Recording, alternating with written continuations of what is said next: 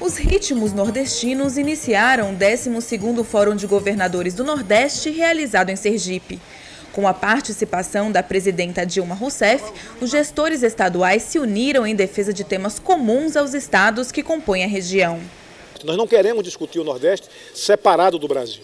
Até porque hoje nenhum projeto de desenvolvimento nacional dará certo se não incorporar com prioridade a questão do Nordeste na sua agenda. O corte anunciado de 50 bilhões, ele ainda não foi localizado.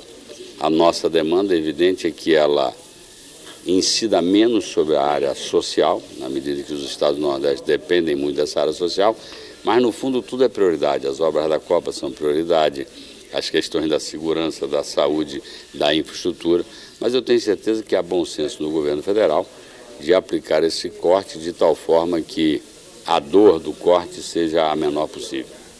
Durante o encontro, a presidenta Dilma assegurou a continuidade dos investimentos para a região Nordeste, mesmo com o bloqueio das contas orçamentárias de 50 bilhões anunciadas para este ano. Nós mantemos integralmente os investimentos, como PAC, Minha Casa Minha Vida, Copa. Estou dando também como exemplo de não corte o próprio PAC 2, especialmente na parte de social e urbana, e o programa UPEF de 2011 que nós estamos mantendo. No final do evento, os governadores fizeram uma carta reunindo todas as reivindicações e reafirmando o diálogo com o governo federal.